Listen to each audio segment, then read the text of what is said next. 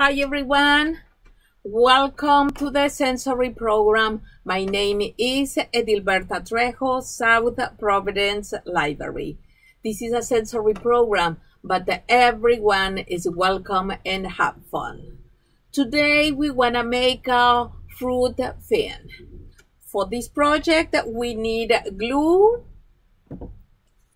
paper plates, popsicle sticks,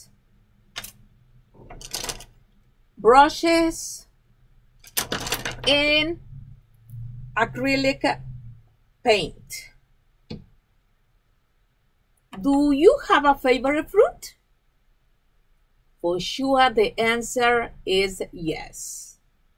So then use it as an inspiration and create your favorite fruit fan. I have some examples for you here. Who likes uh, oranges? Or watermelon? I have uh, two different uh, apples. One a little bit challenge to make it. And this one, it's easy to make it. But both they are so cute. How about the strawberry? But definitely my favorite fruit is kiwi. Two kiwis for you. Different colors. All of them so delicious and nutritious. Let me tell you some suggestions before you start your project.